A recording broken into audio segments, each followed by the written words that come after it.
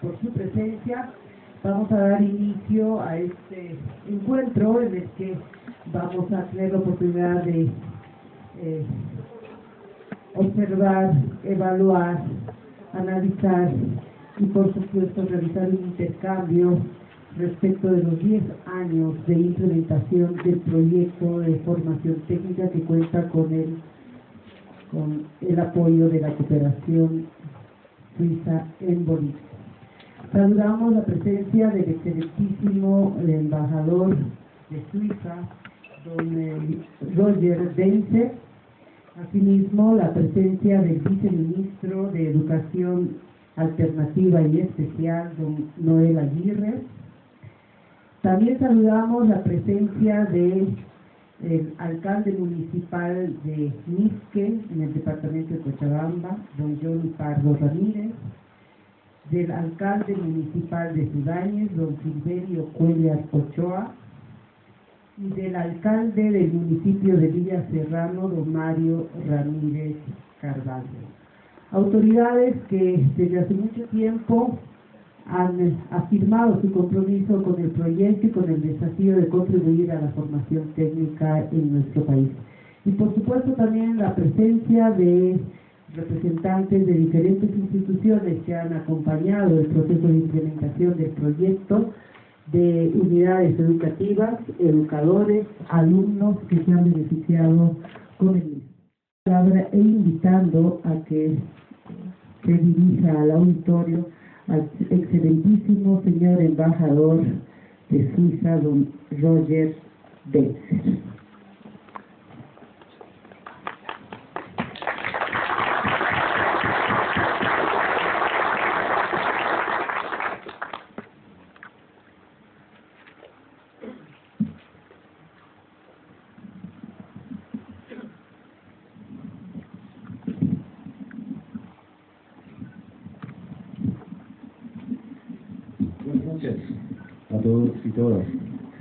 Agradezco la presencia de autoridades nacionales, así como el del Ministerio de Educación, alcaldes de diferentes regiones de Bolivia, autoridades distritales y de centros de educación técnica.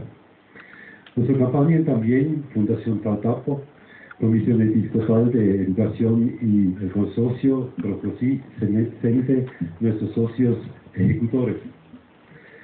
Recibo calurosamente a los, los, estudiantes de carreras técnicas, medios de comunicación y público en general. Gracias por venir.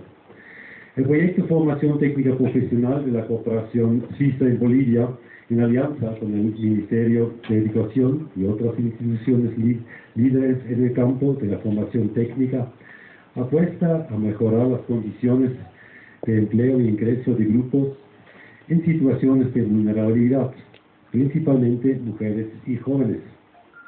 Sus acciones se enmarcan en las políticas de educación productiva que plantea la Ley de Educación 070 actualmente vigente en Bolivia.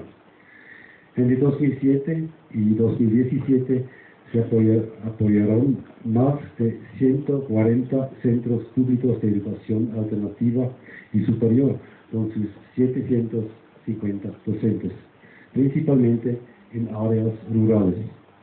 En estos centros han participado en procesos innovadores de educación más de 50.000 personas que ahora tienen mayores oportunidades para acceder al empleo o a emprender una actividad propia. También se fortalecieron las capacidades de actores nacionales, generando principalmente redes de articulación de sectores productivos empresariales con las ofertas formativas. Déjenme contarles cómo se desarrolló el tema en mi país. En Suiza, por sus niveles de productividad e innovación tecnológica, es uno de los líderes mundiales en el tema formación técnica profesional. Uno de sus factores clave de éxito es la calidad en la formación técnica profesional de sus trabajadoras y trabajadores esta proporciona una sólida base de conocimientos a dos tercios de los jóvenes en Suiza, manteniendo una de las tasas más bajas de desempleo juvenil en la planeta. Otro factor importante en el país es el permanente diálogo entre el sector público y privado, por ejemplo, en la definición de mallas curriculares y en la realización de pasantías estudiantes en distintas empresas. ¿Y por qué? Porque es mayoritariamente el sector privado el que, el que necesita personas calificadas y crea empleo. Aun con cada pueblo y países diferentes por su diversidad y riqueza cultural, consideramos que la experiencia de Suiza puede aportar a los avances en formación técnica profesional ya logrados en Bolivia. Por ello, trabajamos junto a socios bolivianos. Queremos seguir promoviendo el diálogo de los actores públicos y privados del mundo educativo, productivo y laboral, porque estamos seguros que contribuye grandemente a un presente y a un futuro con mejores oportunidades para la población actualmente pobre y vulnerable en Bolivia. Trabajamos por ellos, son nuestro norte común. Una imagen vale más que mil palabras, nos dicen, y creo que es verdad. Por eso termino aquí para dar paso al documental Sembrando Oportunidades, que con agrado compartimos hoy con ustedes. Siempre es mejor que hablen los, los protagonistas en su propia voz, que nos brindan sus testimonios como evidencias, como evidencias eh, sobre las, las ventajas y oportunidades que la formación técnica profesional genera para, el cambio de sus propias vidas. Recalco que los logros obtenidos en 10 años de acciones han sido fruto del trabajo conjunto de la cooperación suiza el Ministerio de Educación, el Gobierno Municipal de La Paz, instituciones de larga trayectoria en la formación técnica y, por supuesto, los y las más de 100.000 alumnos, muchas de ellas madres que fueron parte del proyecto, ya sean cursos completos, capacitaciones cortas o certificación de sus competencias laborales. Sabemos, reconocemos y agradecemos los esfuerzos que implican estudiar en circunstancias adversas, hora tras hora, a veces por las noches, para obtener sus titulaciones y hacer realidad sus sueños. Nuestro reconocimiento sincero a estas instituciones y personas que con sus esfuerzos y capacidad aportan al empoderamiento económico y social de Bolivia. Creemos en la pertinencia de la senda abierta.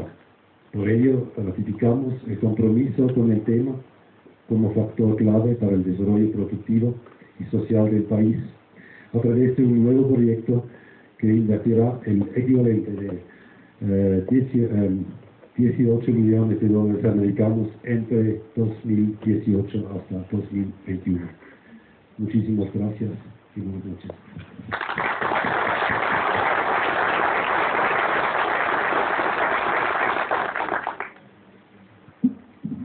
Agradecemos las palabras auspiciosas del embajador y eh, de inmediato vamos a invitar a los panelistas que esta noche van a evaluar los alcances de 10 años de trabajo y van a proyectar los desafíos hacia adelante.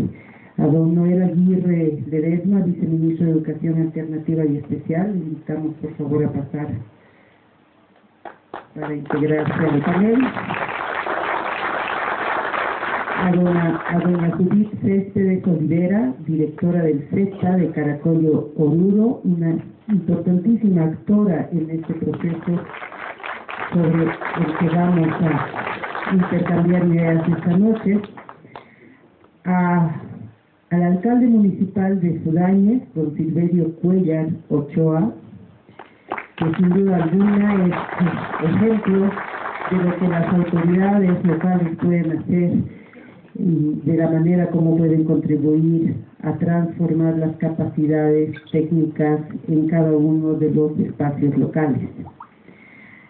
Eh, una estudiante que está todavía en el proceso de formación en el Instituto Tecnológico Ayacucho, Noemí Luis Rojas Condori, que seguramente también tiene mucho que compartir. Y la empresa privada, que no podía estar ausente en este encuentro, representada esta noche con, por don Franklin Wilmar Crespo. Él es eh, parte del equipo que dirige Carrocerías Metálicas Camet SRL en la ciudad de La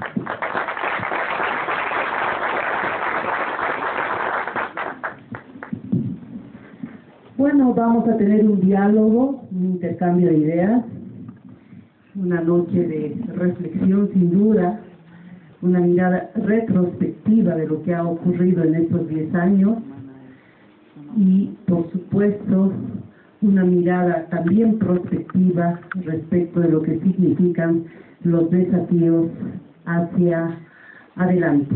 Un panel que ha sido previsto para un diálogo muy, muy ágil, muy dinámico, que posteriormente va a permitir la participación también de quienes hoy nos acompañan. Eh, les vamos a ceder la palabra por cinco minutos a cada uno de los panelistas y después vamos a abrir un espacio de diálogo con los participantes. En realidad vamos a recibir las preguntas de los participantes. Para iniciar este diálogo, pues eh, vamos a invitar a Noemí Rojas, estudiante del Instituto Tecnológico Ayacucho, que en este momento está cursando sus estudios en, eh, en la ciudad de La Paz. Ella es estudiante de eh, segundo semestre de la carrera de construcción civil del Instituto Técnico Ayacucho tiene 19 años, es aficionada al dibujo y tiene una gran destreza para el diseño y la elaboración de planes. De planos.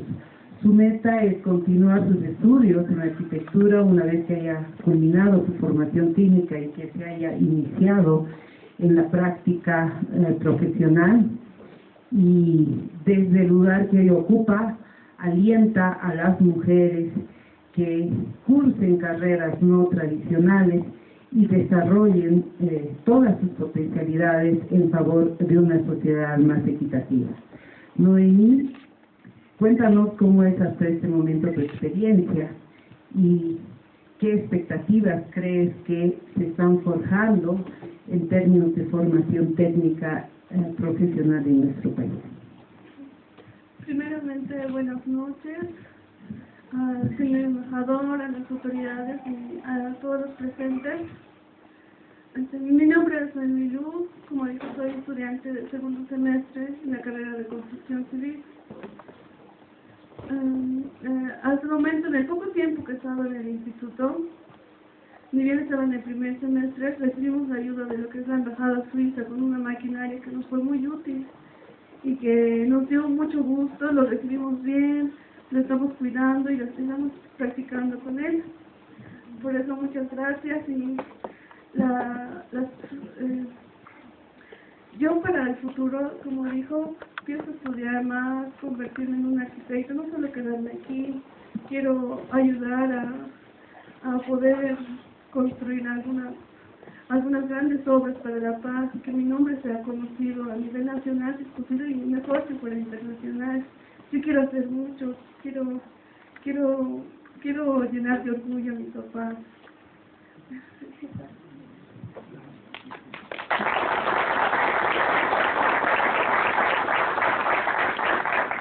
Bueno, ahí está el testimonio de Noemí Rojas, estudiante del Instituto Tecnológico Ayacucho, con quien eh, más adelante seguramente vamos a poder conversar mucho más en, la etapa de diálogo con los asistentes. Ahora vamos a pedir a doña Judith Céspedes Olivera, que es directora de CEPA de Caracollo Oruro, uno de los institutos de formación técnica profesional que ha jugado un rol sin duda muy importante en estos 10 años de implementación del proyecto. Eh, doña Judith Céspedes es maestra, directora del Z Caracollo desde el año 2010. Se inició como maestra del nivel primario en matemáticas y ciencias naturales. Tiene una licenciatura en educación alternativa de Profocom y un diplomado en educación popular y desarrollo comunitario sostenible. Fue coordinadora del Plan Nacional de Alfabetización para la Vida y la Producción. En el marco de la ejecución del proyecto Formación Técnica Profesional, ha participado en un conjunto de talleres sobre género, gobernabilidad, medio ambiente y emprendimiento, además de ser una actora fundamental en el proceso de capacitación de eh, los profesionales que se han ido formando a lo largo de los 10 años de ejercicio del proyecto. Profesora, coméntenos usted cuál ha sido su experiencia y cuáles, desde su perspectiva, son los desafíos que en materia de formación técnica profesional debe asumir el país. Buenas noches. En principio al señor embajador de Suiza aquí en Bolivia, allí a todos los presentes, al licenciado Noel Aguirre, eh, viceministro de Educación Alternativa y Especial. Bueno, con respecto al trabajo que se ha ido realizando durante estos años, eh, la educación técnica ha sido importante para la educación de personas jóvenes y adultas. Pensamos que es una de las áreas que forma al participante eh, personalmente y profesionalmente. En educación alternativa lo que se ha visto es no solamente ponerles de la parte teórica, sino también en paralelo a ello, eh, eh, iniciando con lo que es el saber, articulando principalmente con el hacer, para que de esta manera nuestras eh, eh, señoritas jóvenes, hombres y mujeres, nuestras hermanas y hermanos del campo, eh, puedan salir victoriosos con respecto a los ah, desafíos de la sociedad, porque la sociedad es implacable en el momento actual pues hay muchos cambios y necesitamos tener eh, presente lo que es el desarrollo de capacidades en lo que es la teoría y la práctica. Eso es cuanto puedo mencionar en el momento. Muy bien, eh, nos están ahorrando nuestros panelistas el eh, tiempo como para que más adelante podamos establecer una dinámica de diálogo con los asistentes, eh, por lo que eh, les agradecemos, sin duda. Eh, como destacábamos al inicio, este proyecto, la implementación de este proyecto fue posible gracias a la participación de múltiples actores. Los desafíos en materia de formación técnica profesional en Bolivia son de tal magnitud que sería imposible pensar en alcanzar resultados exitosos e ir avanzando en, en este ámbito si es que no se contara con la participación de autoridades eh, nacionales y locales. Y el municipio, que es donde eh, se concretan eh, las políticas que llegan directamente y que benefician directamente a la gente, es sin duda un actor fundamental. contamos con la presencia de el alcalde municipal de Ciudadañez, don Silverio Cuellar Ochoa, que ha sido reelecto para una segunda gestión municipal en el periodo 2015-2019.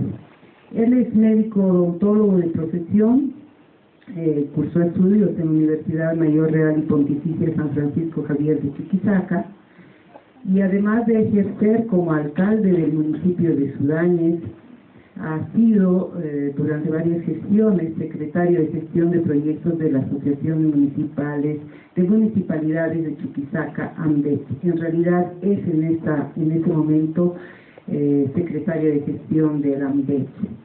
Eh, estuvo muy vinculado a las organizaciones sociales de su municipio y fue ejecutivo de la Subcentral Campesina de Sudáñez y desde su primera gestión como alcalde viene dando un importante impulso a la educación técnica productiva.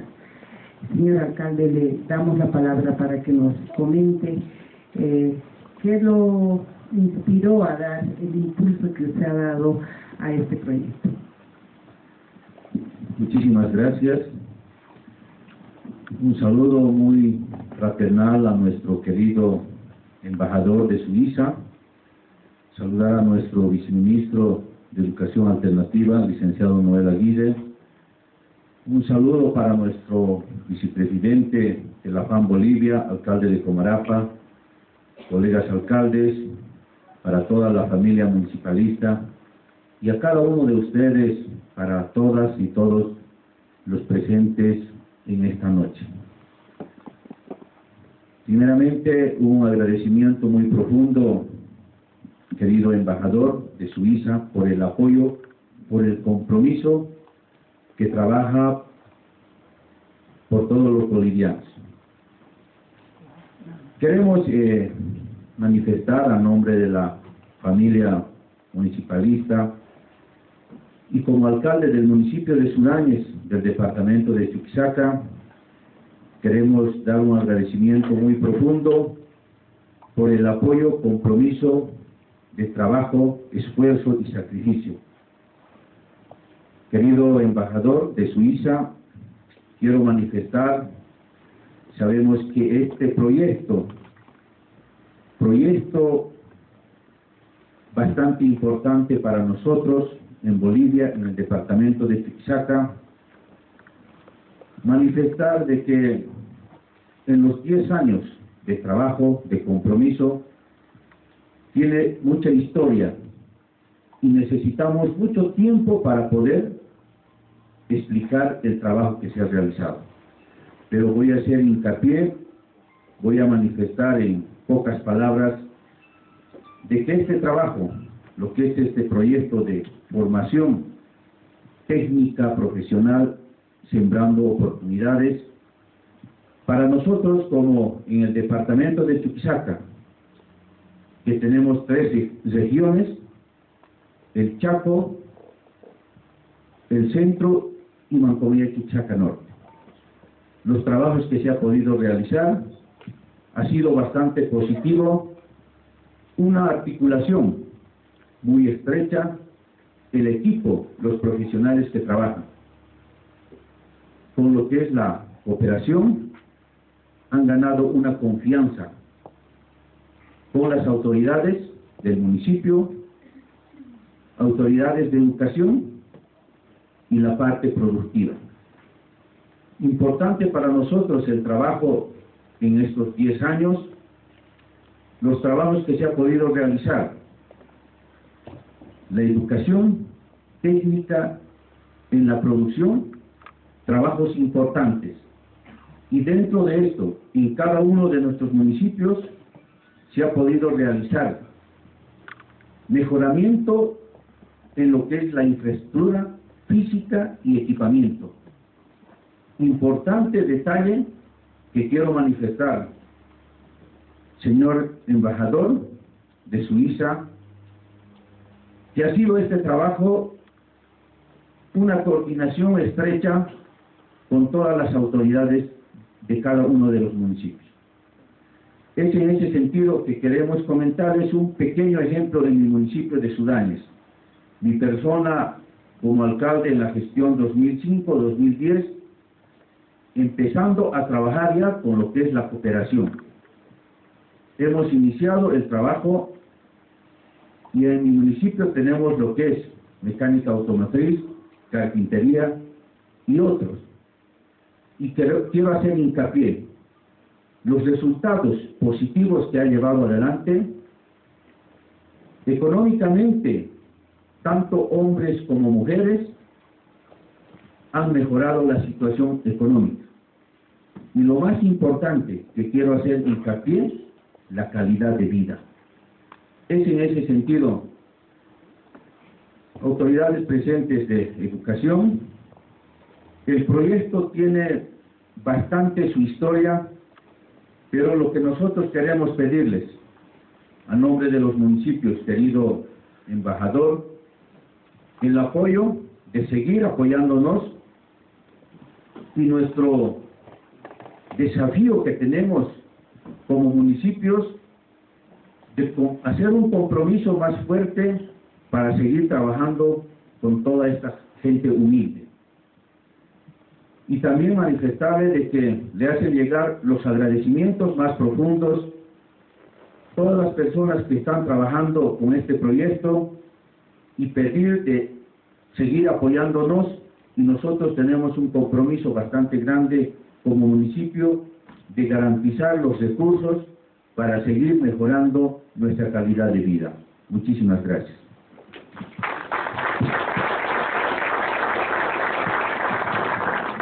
Y no podía faltar la participación del sector privado. Don Fran Crespo Medrades de Carrocerías Metálicas CAMES SRL de la Ciudad del Alto.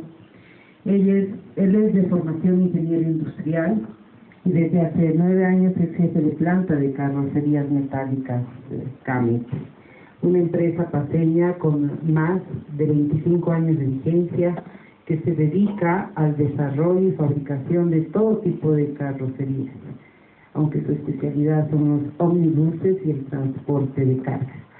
Actores claves sin duda porque no solamente que demandan mano de obra calificada, sino que de la incorporación de esta mano de obra calificada en el sector privado también depende el potenciamiento de eh, los eh, trabajadores que cada día buscan eh, superar y fortalecer su formación técnica.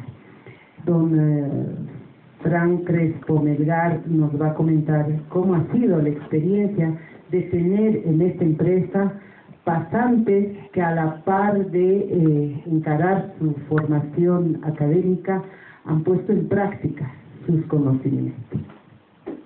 Muy buenas noches, eh, señor viceministro, señor embajador autoridades municipales y a todo el equipo del programa de formación técnica. Mi nombre es Frank Crespo, yo trabajo en la empresa CAMET Carrocerías Metálicas y por un lapso de alrededor de siete años estamos en contacto con este programa.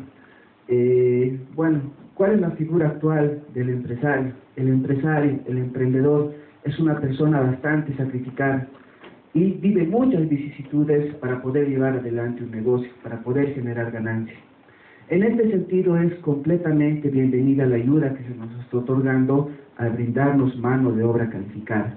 Nosotros sabemos que especialmente en nuestro país existe una gran cantidad de micro y pequeñas empresas, las cuales son demandantes permanentes de mano de obra calificada hablando de mi sector en metal mecánica, lamentablemente hasta hace muy poco tiempo no existía gran cantidad de oferta en este tipo de mano de obra.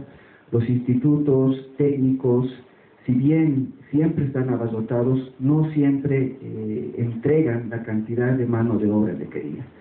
Y en estos tiempos el empresario no es aquella persona que va al taller, a la empresa y se coge ganancias, no, es una persona que realmente se sacrifica y trabaja mano con mano, hombro con hombro con las personas, obreros, trabajadores que les coadyuvan en realizar esta tarea. Es en este sentido que nosotros hemos visto que se nos está dando una gran facilidad y una gran ventaja. Hemos aprovechado la mano de obra para poder mejorar nuestra productividad para poder mejorar la calidad de los trabajos que entregamos a nuestros clientes. Durante todo este tiempo han pasado por el taller una gran cantidad de jóvenes. Dentro de la experiencia que tengo, muchos han cumplido el periodo requerido de pasantía y han buscado caminos diversos. Otros han preferido especializarse más. Muchos otros se han quedado en la empresa y actualmente son trabajadores de planta. Pero la alegría más grande para nosotros es ver a los trabajadores que han pasado por nuestro taller ya con emprendimientos propios. Toda la capacitación que han tenido, que ha sido bastante buena y también integral, les ha permitido tener esa visión. Esa visión no simplemente de ir a trabajar una empresa y cumplir un horario, sino esa visión de poder superarse personalmente, hacer empresa, hacer su propio emprendimiento y con esto beneficiar no solamente a sí mismo, sino beneficiar a todo nuestro país. Es un programa eh, que ha sido aplicado con bastante tino y es bueno también eh, recalcar la labor que han hecho los formadores. Los formadores les han inculcado, además de conocimientos, bastantes otras virtudes como responsabilidad o esa visión de poder superarse. Además, se les ha hecho un seguimiento por todo el lapso que correspondía a su pasantía. Esto ha permitido detectar algunas fallas que pudieron haber, eh, haberse visto durante su periodo de preparación y posteriormente subsanadas. Esto para el beneficio del alumno y también para beneficio de la empresa en donde están realizando sus pasantías. ¿no? Eh, he visto a alumnos, muchachos, muchachas crecer en esto. Han empezado como soldadores, pero además han, durante el tiempo que han ido trabajando han ido adquiriendo muchos otros conocimientos más. De tal manera que se han logrado especializar y ahora pueden estar orgullosos de que además de tener un título que les otorga este programa, ellos tienen su propio emprendimiento y son eh, económicamente libres. Ellos ya están trabajando para sí mismos y están trabajando además para toda su familia. El ámbito de aplicación de este programa eh, para las personas que sufren un cierto riesgo siendo adolescentes ha sido también ideal, ¿no? Ha venido a nosotros gente que realmente vivía en condiciones no tan buenas, ¿no? Y el trabajo y la capacitación que han recibido les ha permitido mejorar su nivel de vida. Todo eso se ha visto y hay muchas historias que contar, muchas cosas por decir, pero lo que se puede resaltar de todo esto es que realmente no ha beneficiado solamente a la empresa, sino también ha beneficiado a todos los jóvenes que han eh, logrado concluir su programa de capacitación y con esto se ha logrado beneficiar también a nuestro país.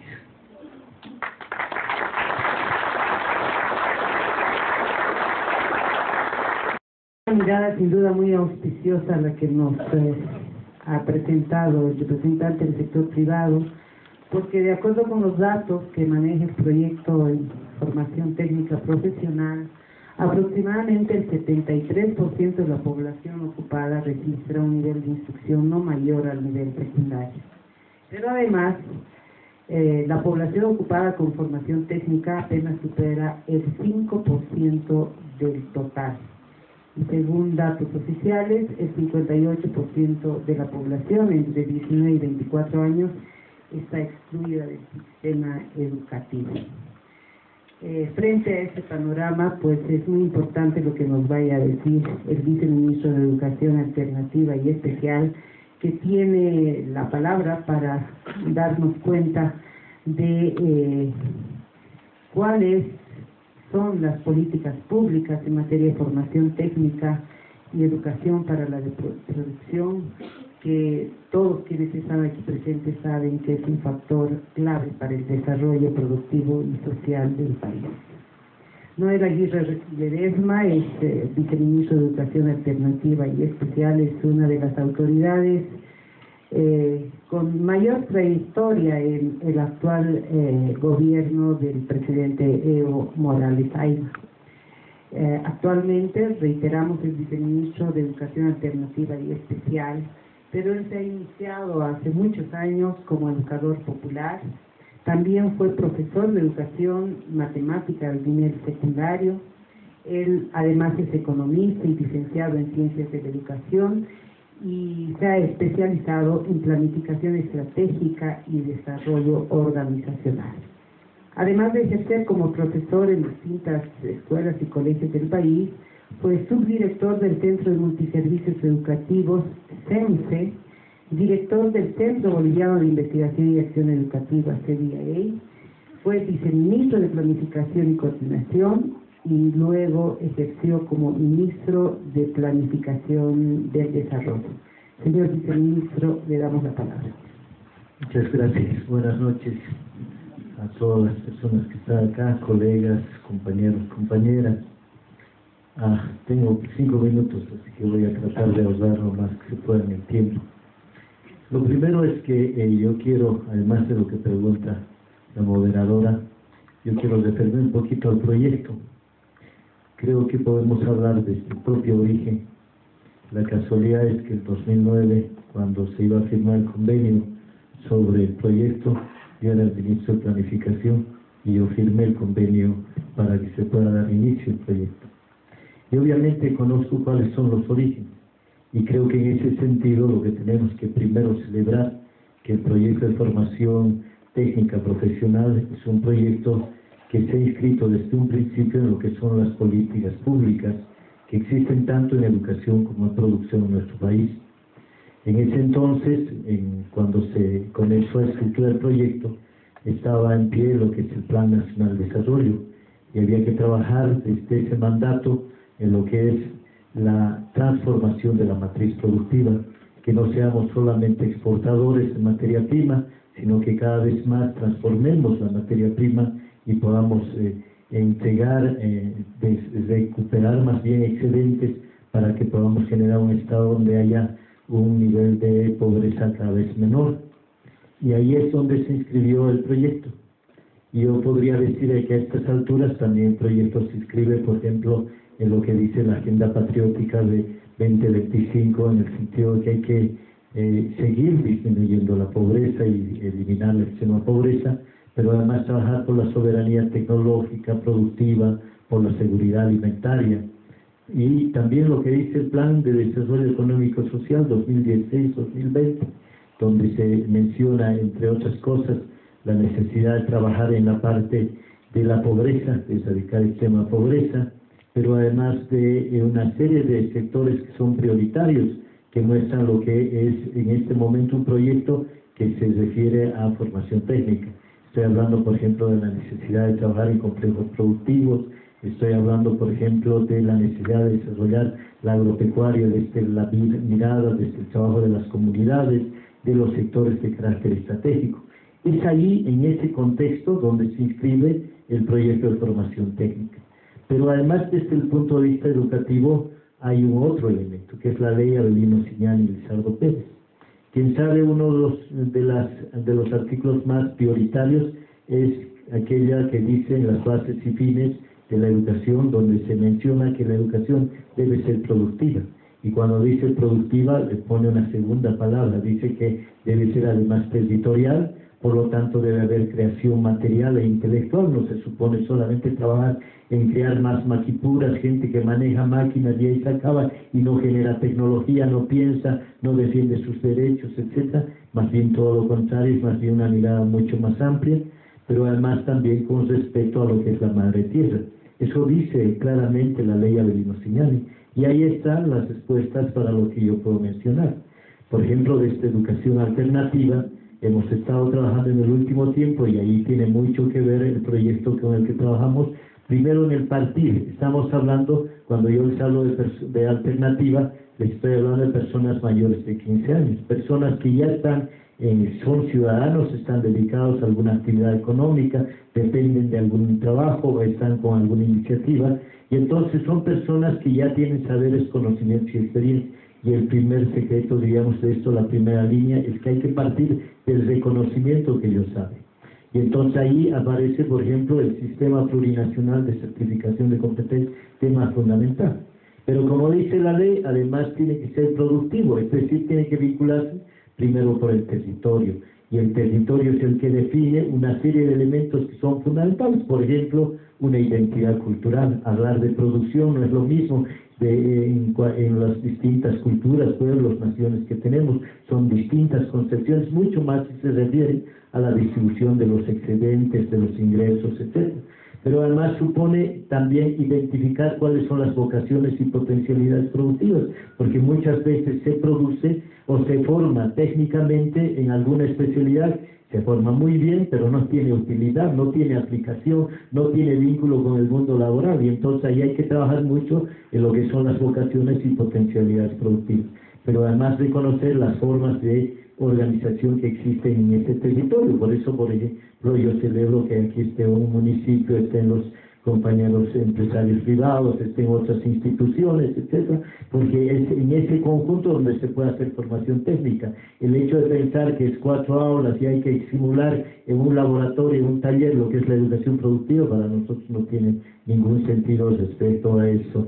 Y por eso también que hemos trabajado en el último tiempo en lo que es esta educación productiva en educación alternativa y en el sistema plurinacional de certificación de competencias. Hace un momento el embajador decía que hay como 120 centros de educación alternativa que se están trabajando y en buena hora que estamos trabajando, pero yo tengo que decirles que en toda Bolivia hay, cerca de 700 centros de educación alternativa y de estos 700 hay como 400 que están haciendo trabajos similares en toda Bolivia, unas veces basado en su creatividad, otras veces en la iniciativa de los maestros a quienes hay que agradecer mucho, otros por la exigencia de la comunidad, otros por la iniciativa también de los alcaldes o los gobernadores, y ahí es donde se estructuran las políticas que más que teoría son sobre todo prácticas. En esa línea estamos y ahí ha estado el proyecto de formación técnica profesional y por ese lado tenemos que celebrar varias cosas. Muchas gracias.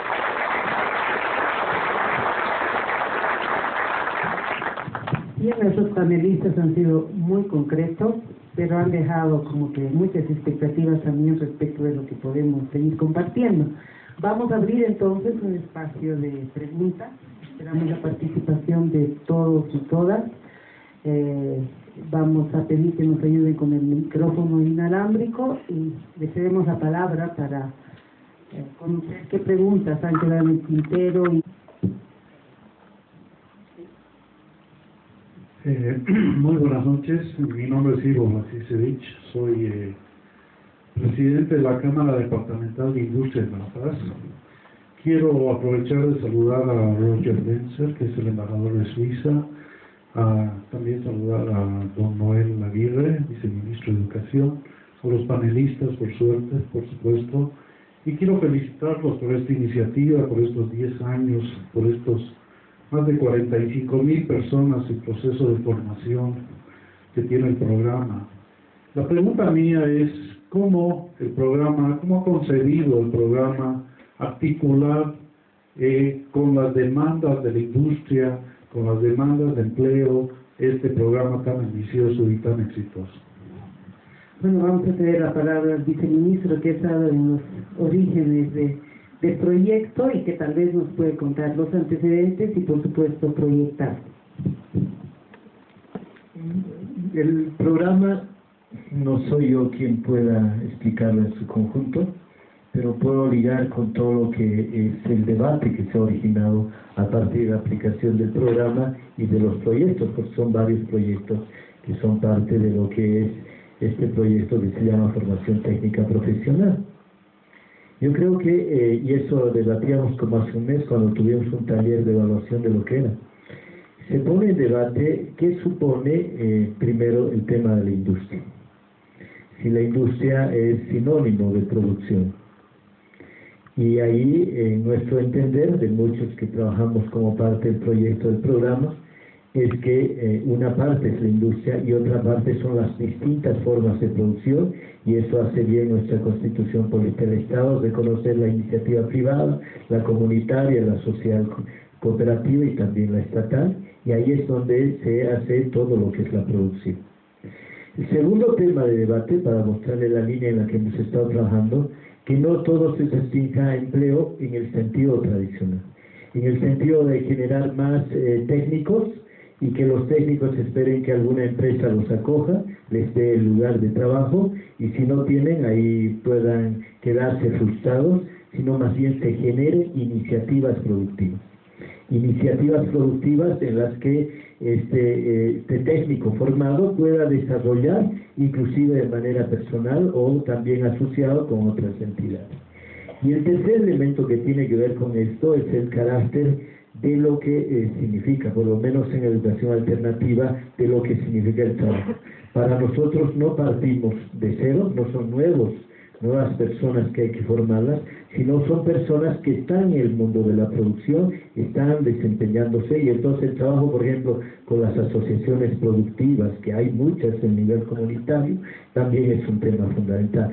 Entonces, como que el programa también, en mi juicio, esa es mi opinión personal, ha ayudado a tener una mirada diversa de lo que puede ser la producción, de lo que significa trabajar con los distintos actores y de lo que supone también valorar lo que ya son sus iniciativas y sus formas de vínculo con el mundo laboral, con el mundo del trabajo, con el mundo de la producción. Por esas vías ha fomentado y ha ayudado mucho para que eso se pueda desarrollar.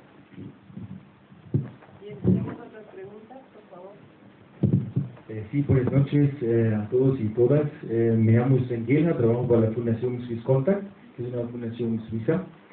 Y eh, nosotros somos gran fan, obviamente, de, la formación dual, ¿no? que todos ustedes conocen. Y una pregunta más a usted, el licenciado Aguirre, ¿cómo ve en el futuro un posible modelo de, formación dual o algo parecido o algo soft?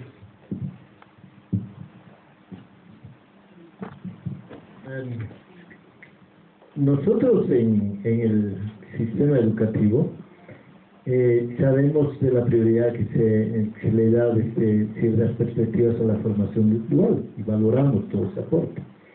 Yo creo que sin decirlo, en Bolivia se está haciendo mucho de eso, sin decir que es formación dual. Yo le puedo decir teóricamente, por ejemplo, uno de los eh, eh, de las bases de carácter metodológico que tiene el modelo educativo boliviano es que se debe partir de la práctica y esta práctica se debe hacer teoría y esta teoría con la práctica se debe valorar, se puede tomar decisiones y se debe volver a la práctica para producir. Eso es lo que dice teóricamente, ese es el primer elemento.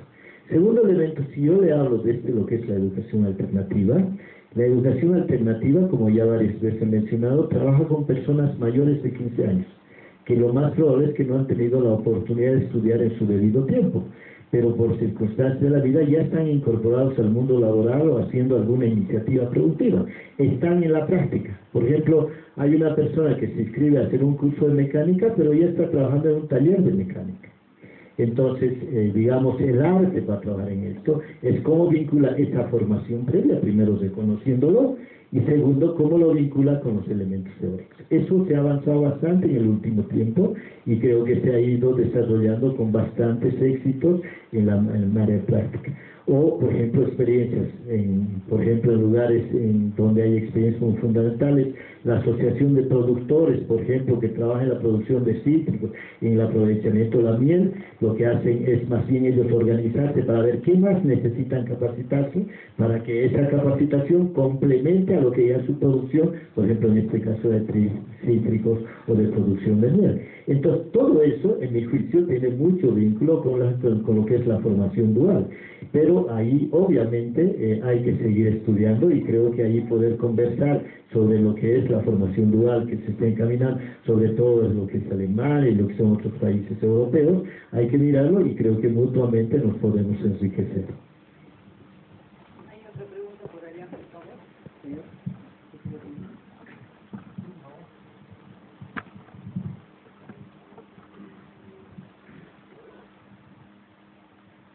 Gracias, buenas noches. Gonzalo Rodríguez Rojas, abogado y miembro del Comité de Defensa del Patrimonio Nacional. Eh, quiero expresar el invalorable apoyo del señor embajador que representa una nación que muestra mucho desarrollo, en el mundo europeo, Suiza. Gracias, señor embajador.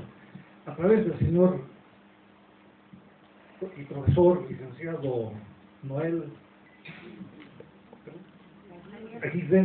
quisiera que se exprese al señor embajador la necesidad de ampliar la ayuda.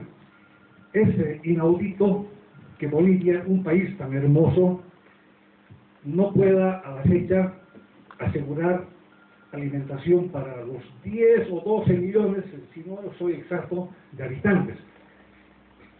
Es lamentable que hace mucho tiempo y hace muchos años Bolivia sigue siendo proveedor de materias primas para las industrias extranjeras. Es doloroso, queridos asistentes, ir a los supermercados y a los mercados informales y comprar productos de Chile o del Perú y la Argentina, cuando aquí hay una producción excelente de productos orgánicos. De tal manera que mi mensaje sería para que el ilustre embajador amplíe la ayuda, porque si Bolivia tiene recursos inmensos, ¿cómo vamos a comprar productos transgénicos si Bolivia está en condiciones de producir? Señor viceministro, ¿dónde están los miles de tractores que han ingresado al país? ya no vemos, ya no vemos el, arado egipcio, pero esos tractores, esa maquinaria, e, esos elementos técnicos que han venido de muchos países y fundamentalmente de Suiza, ahora nos enteramos, ¿por qué no aseguramos alimentación para los 10 o 12 millones de habitantes que tiene Bolivia. la seguridad alimentaria. Es triste eh, comprar grupos extranjeros, por lo tanto quisiéramos que el cacao, las almendras y, la leche es, orgánica tenga una empresa suiza como Nestlé y, y se asocie o elabore, plantee programas de trabajo con el gobierno para que podamos ser ya productores, industrializadores y no exportadores de productos eh, eh. Muchas gracias.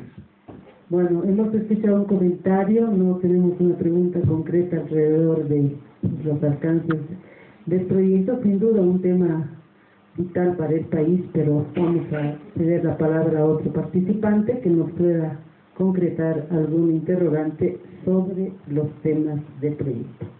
Gracias, buenas noches. Soy Augusto Costa, de Save the Children International, quería hacer una pregunta al Z Caracollo. ¿Cuáles son las experiencias concretas en la formación técnica profesional? Bueno, gracias por la pregunta. El Z Caracollo tiene una vida de 23 años. Inicia gracias a la necesidad existente en la población empezamos a trabajar eh, de cero, ¿no? Eh, desarrollando la parte comunitaria, los saberes comunitarios de la población, tras nuestro, un cúmulo de hombres y mujeres con necesidad, con hambre de conocimiento, de desarrollar sus capacidades, ¿no? y vamos construyendo de a poco, vamos avanzando a paso lento, ¿no? hasta que eh, el 2010 eh, nos encontramos con la cooperación suiza, ¿no? que eh, tocamos sus puertas y nos apoyan, ¿no? nos apoyan a mejorar nuestra institución, a que nuestro caminar sea un poco más acelerado para responder a las necesidades y expectativas de nuestros estudiantes. Como lo decía aquí el licenciado Noel Aguirre, Educación Alternativa cuenta con estudiantes a partir de los 15 años. ¿no? Y los Zetas principalmente se han creado para responder a las necesidades del área dispersa. Personas que en ese entonces eh, ni se les abrían las puertas de esas oficinas. ¿no? Sin embargo, ellos buscaban con hambre, con de conocimiento. Hemos ido caminando así hasta que eh, nos encontramos, tocamos las puertas, nos apoyan, ¿no? Teníamos ya una relación eh, con lo que es la Comisión Episcopal, ¿no? Y ahí ingresa lo que es la cooperación suiza por intermedio de formación técnica profesional. La misma que hace que el centro pueda mejorar, pueda, eh, ¿cómo se diría? Pueda ofertar, ¿no? Con equipos de, pues, ofertábamos nuestro servicio con equipos domésticos, pasamos a ofertar con equipos industriales, gracias a la donación y el aporte de lo que es formación técnica profesional. ¿no? Formación técnica profesional ha apoyado inmensamente a todos los centros de lo que es nuestra patria Bolivia, ¿no? y a principalmente a poder eh, hacer alianzas con las diferentes instituciones, instituciones locales, nacionales, eh, departamentales. Hemos hecho alianzas con lo que es eh, el municipio, tenemos muy buenas relaciones. Eh, hemos hecho alianzas con el Ministerio de Educación, que en los últimos meses nos acaban de donar tres movilidades y el Z nuevamente inicia otro emprendimiento. ¿no? Entramos a poner al servicio de la población eh, lo que es mecánica automotriz. Nosotros nos encontramos en Caracollo, es un lugar de paso, ¿no? y hay muchas necesidades eh, por responder a esa población. Es así que formación técnica profesional ha creado un impacto de tal manera que en los últimos tiempos hemos rebasado con la cantidad de estudiantes. ¿no? Tenemos eh, estudiantes que quieren formarse y capacitarse en lo que es las áreas técnicas principalmente. Ellos quieren responder a sus necesidades en el momento, no quieren esperar 12 años como en educación regular, no quieren mejorar sus condiciones de vida. Tenemos ocho emprendimientos también gracias a formación técnica profesional, eh, los mismos que eh, uno de los emprendimientos se, se, enteró que veníamos para la ciudad de La Paz y él decía, ¿no? por favor agradece a la cooperación suiza, porque si antes tomaba con mi familia un vasito de té, pues ahora puedo servirme un vaso de leche. ¿no? Entonces, muy agradecidos nosotros los de eh, la población de Caracollo y las comunidades y la ciudad también. En estos momentos no solo atendemos a lo que es el área dispersa, en un 25% estamos atendiendo a los centros mineros, el otro 25% atendemos a lo que son las ciudades cercanas, Oruro, La Paz, Cochabamba, y a Caracollo el 25% y al área dispersa el 25%. O sea que tenemos un, uh, una cultura diversa reunida en el Z con esas ganas de seguir creciendo, de seguir, de seguir mejorando sus ingresos económicos a través de las oportunidades que se nos ha presentado por lo que es formación técnica profesional.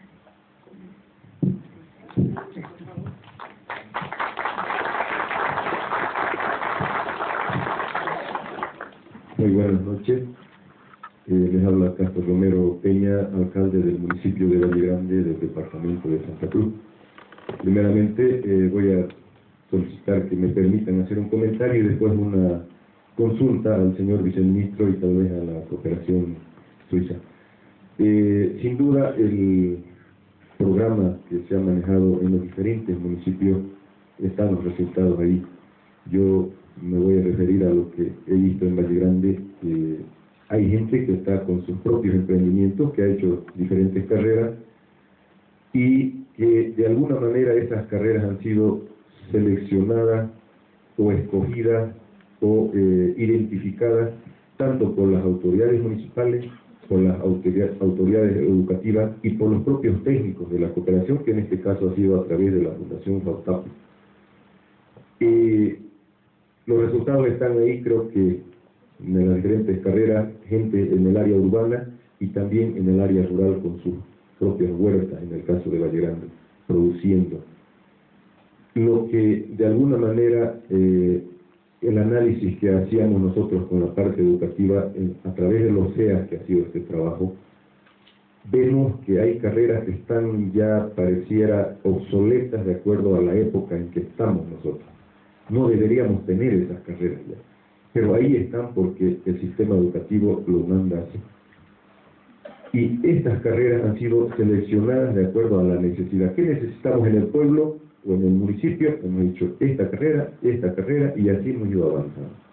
Eso es lo que rescato y valoro de verdad, es dinámica, dinámica la selección y de acuerdo a las necesidades de los municipios de la región. Bien decía él en el alto, necesitan otro tipo de eh, técnicos que vayan a trabajar allá. Pero lo importante es que se forman personas que el día de mañana son emprendedores y eso es lo que estamos viendo, propios son, ellos son sus propios jefes de ellos mismos. Eso es lo importante. La consulta que quiero lanzarlo aquí, bueno, lo hemos escuchado al señor embajador y agradecerles, ¿verdad?, por ese apoyo que ha venido haciendo y pretende seguir desde el 2018. La consulta y lo que hemos visto, una debilidad. La, las normales pareciera que no están formando profesionales que van a hacer el trabajo de la cooperación suiza a través de las instituciones. ¿Por qué? Porque están sacando maestros o educadores de la formación regular que se llama, y no de las alternativas. Hemos visto que los técnicos de la fundación han tenido que ir a buscar uno, otro, o a los mismos maestros lo han formado, lo han capacitado, pero es un proceso muy largo. Mi criterio, por ejemplo, decía, no se podrá buscar profesionales del área y enseñarles pedagogía o formas de enseñanza y ahí lo tenemos los profesionales más rápido para que puedan educar. Es una consulta. ¿Qué posibilidades de que a través de profesionales, sean ingenieros civiles, sean arquitectos, o de acuerdo a la carrera, pero eh, formados en el área, que se los forme pedagógicamente para que ellos puedan ser los que eh, pasen la formación a través de las diferentes carreras.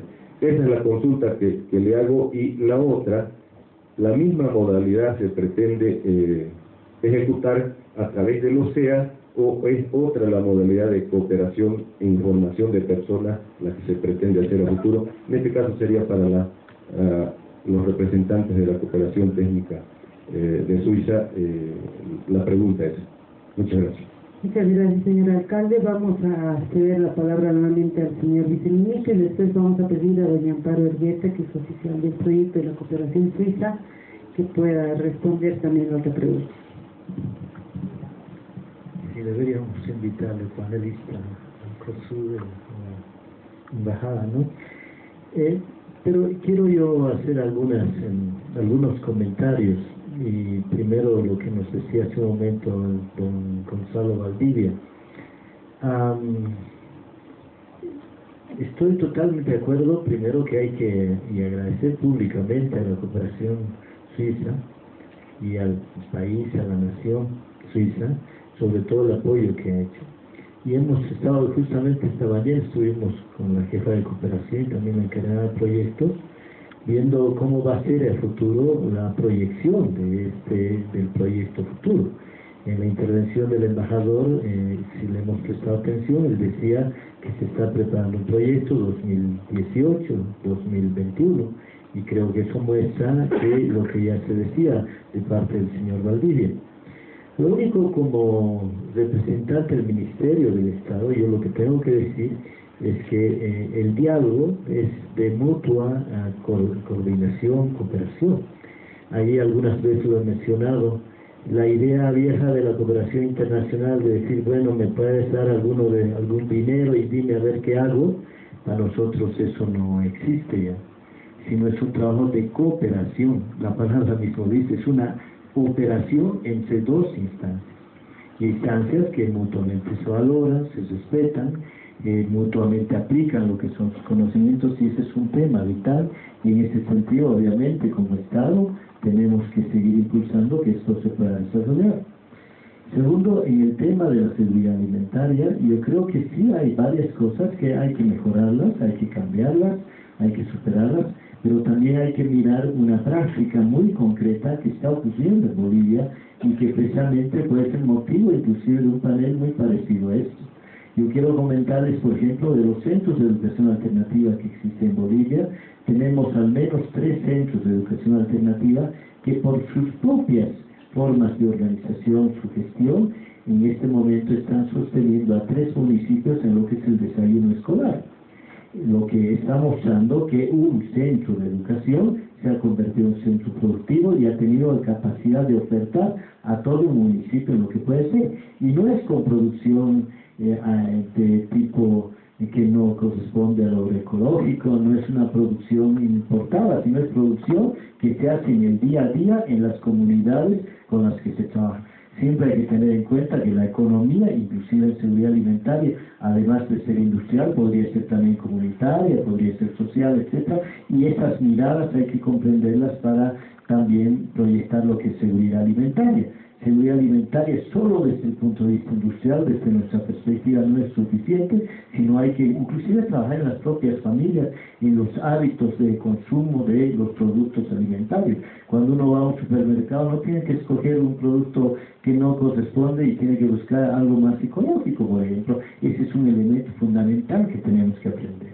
Y es lo que dice acá don el alcalde eh, Romero, yo quiero um, mencionarle una, una cuestión primera.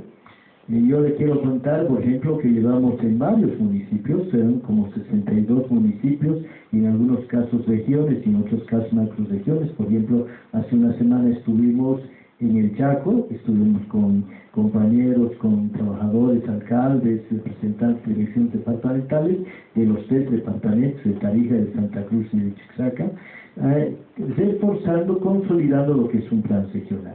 O sea, mirar separado entre lo que es la proyección de un municipio en la parte productiva y por otro lado la parte educativa, ya no puede seguir más. Nos parece que hay que trabajar en lo que llamamos planes regionales de desarrollo productivo, desarrollo productivo en regiones. Y la primera pregunta es, por ejemplo, si vamos a hablar de producción, para decir algo, para poner como ejemplo, permítame, alcalde, en Valle Grande, ¿de qué vive la gente? ¿Qué produce la gente? ¿Qué consume la gente? ¿Cómo genera ingresos y cómo distribuye ingresos? Seguramente se van a hacer varios descubrimientos y varias confirmaciones. Y la segunda pregunta es, ¿qué hace la educación, en este caso la alternativa, en relación a eso? En el caso del Chaco, ahí la primera respuesta a coro es maíz. Y la segunda pregunta es, ¿y qué hacen los centros? Algunos centros giran la cabeza para disimular que no están haciendo mucho y ahora estamos trabajando para que eso se transforme en función de lo que son las vocaciones, las potencialidades de la región. Yo le invito, yo quiero aprovechar públicamente, ojalá pudiéramos hacer un plan regional de educación productiva en el municipio de Valle Grande para proyectar este tipo de eventos. Pero ya contestando en la pregunta que usted hacía sobre los maestros, sobre todo de educación técnica, porque en educación humanística que llamamos, o sea, de lenguaje, de matemáticas, de lo que sí es natural, ciencias sociales, tenemos, tenemos una base de maestros que pueden trabajar en esto. Donde tenemos deficiencias es, y no tenemos la suficiente cantidad de maestros formados en áreas técnicas y más con un periodo donde estamos cambiando las áreas técnicas.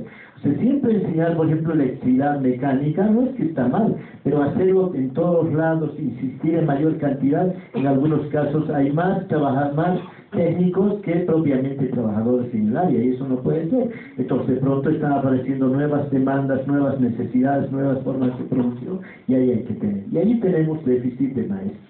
Y estamos encarando por varias formas. Uno, lo que es la formación inicial en las escuelas superiores de formación de maestros, ahora se está poniendo énfasis a esta formación.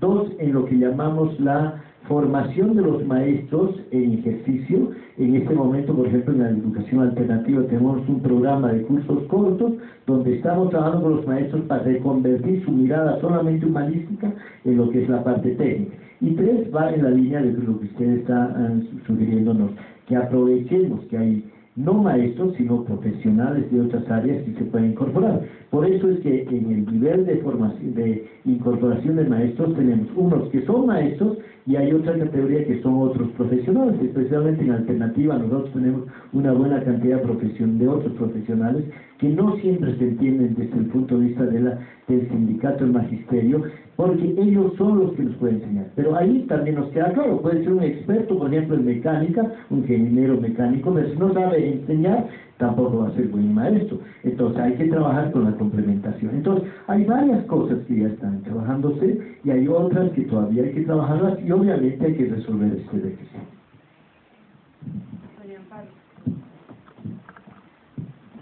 Buenas noches, un saludo a todos a las autoridades y al público general que nos acompaña.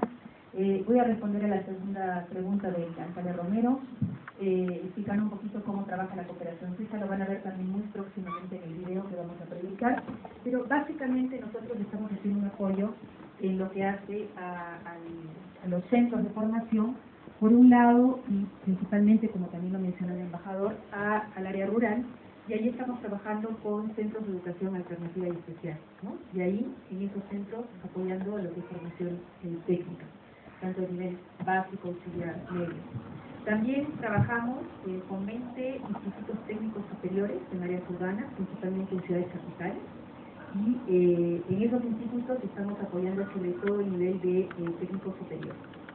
También estamos apoyando directamente al Ministerio, como mencionó el viceministro Noel Aguirre, al Sistema Plurinacional de Certificación de Competencias, y básicamente este sistema lo que está buscando es reconocer a través de esta certificación a personas que se han ido formando a lo largo de la vida en oficios, personas que tienen ya una trayectoria en esos temas y que a través de un estándar que se ha levantado pueden eh, certificarse sus capacidades. Eh, también estamos apoyando con algunas eh, capacitaciones de corto plazo en los institutos y centros de educación alternativa. Hacia el futuro, la, cooperación suiza está también interesada en continuar apoyando al sistema educativo. Nosotros tenemos un apoyo principal a institutos y centros eh, públicos, sin embargo también trabajamos con algunos privados. Y en esta nueva etapa también para nosotros es muy importante vincular y, lograr una corresponsabilidad de los actores privados. Es decir, trabajar con el ministerio, por supuesto, trabajar también con más empresas privadas que puedan brindar las prácticas laborales, pero también que puedan hacerse corresponsables en el sentido de que la formación técnica requiere esfuerzos de financiamiento, no solamente en este caso de cooperación, también del Estado, pero también del sector privado que puede tener un rol y una participación activa en fortalecer nuestro sistema educativo. Bueno, muchísimas gracias a doña Amparo Rieta. Hay todavía varias personas que han levantado sus manos. Lamentablemente estamos con el tiempo ajustado. Eh, tenemos, como ya lo anunció el señor embajador Jorge Tenser, la proyección del video donde seguramente varias de las inquietudes que están ahí pendientes se van a responder. Es sin duda muy difícil eh, resumir 10 años de un proyecto en 15 minutos, pero a continuación invitamos, agradecemos a nuestros panelistas, les invitamos por favor a pasar aquí al, a las etapas y a continuación eh, vamos a proyectar el documental un video con los principales logros y desafíos del proyecto de formación técnica profesional. Eh, ahí se mostrarán las actividades que se han ido implementando. Todas han sido posibles gracias a un trabajo conjunto, como ya se destacó durante el panel entre el Ministerio de Educación, gobiernos municipales, entidades de larga trayectoria como la Comisión Episcopal de Educación, la Fundación FAUTAP, más recientemente el consorcio Procosicense y muchos aliados e instituciones cuyos representantes